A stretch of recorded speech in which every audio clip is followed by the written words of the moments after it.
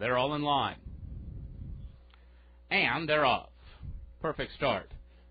Almost True is showing speed today. Joan's Royal Dawn right there to the inside, and Serene Spirit is fast down along the rail, and she's quickest of them all, and will take the lead as they go into the clubhouse turn. Big Shadow settles down in fourth, just in front of Meadow Ashlee, and Jean de Actress is the trailer. She is racing well off the outside, inside, out in the three or four path, and she's last with about nine lengths to make up. So Serene Spirit takes him to the backstretch. She's opened up right now, almost two. Joan's Royal Dawn is a closer second, and now Almost True is back to third.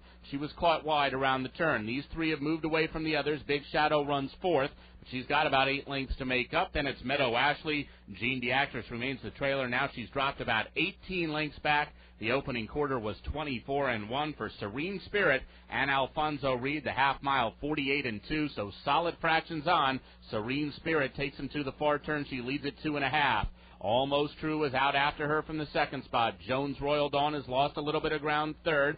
Big Shadow is now called upon. She's got about seven to make up, but she is gaining ground. Here comes Big Shadow, and she is gaining on the leaders as they go to the quarter pole. Serene Spirit in front. Almost True there. Here comes Big Shadow. Big Shadow, three wide, but sweeping right up in behind the leaders. Meadow Ashlee is also starting to hit her best stride. They got to get to Serene Spirit as they straighten away. Big Shadow now almost up on even terms. Jones Royal Dawn back in third. Meadow Ashlee, the grandstand side. It's Big Shadow and Javier Santiago hitting the front as they come to the 16th pole. Big Shadow clear. Meadow Ashlee into second.